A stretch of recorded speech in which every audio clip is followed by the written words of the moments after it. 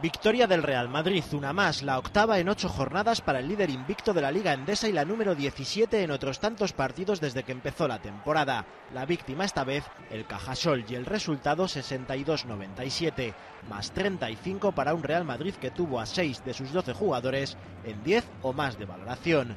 Los más destacados en este aspecto, Sergio Yul con 15 puntos, 5 asistencias y 20 de valoración. Mirotic 13 puntos, 8 rebotes y 17 de valoración. Rudy Fernández 13 puntos, 4 rebotes, 2 asistencias y 16 de valoración. Lo mismo que Sergio Rodríguez con 9 puntos y 6 asistencias. Por no hablar de los 14 puntos y el 10 de valoración de JC Carroll o el 10 de valoración también de Tremel Darden. Síntomas, muestras de que este equipo a día de hoy es imparable. Y así comenzó el partido en San Pablo, a un ritmo fulgurante y con la defensa blanca marcando todo lo que pasaba en la pista, en un abrir y cerrar de ojos 7-27, más 20.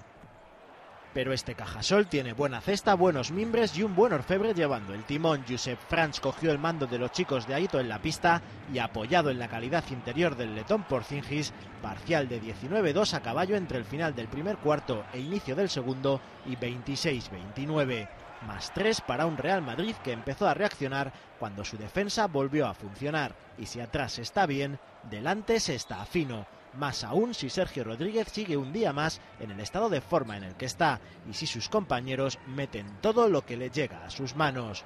De nuevo en un abrir y cerrar de ojos, más 21 para el conjunto blanco tras este 2 más 1 de Janis Burusis. Dos mates de Williams cerrarían el resultado al descanso en 33-50 y en el tercer cuarto más de lo mismo. Cajasol empezaba con ganas, pero Rudy Fernández se las lapidaba sin complejos. Ocho puntos del mallorquín elevaban la ventaja a más 23, diferencia que no solo no bajó, sino que fue subiendo sin parar. El rodillo se puso en marcha y hoy por hoy parece que no hay nadie que lo pueda frenar. Sergio Rodríguez encontraba a Felipe Reyes para poner el más 31 y sería el propio base tinerfeño el que cerraría el tercer cuarto con el 44-77. Los últimos 10 minutos para jugar y disfrutar con, por ejemplo, tres triples de JC Carroll, 62-97 y victoria del único equipo invicto de la Liga Endesa.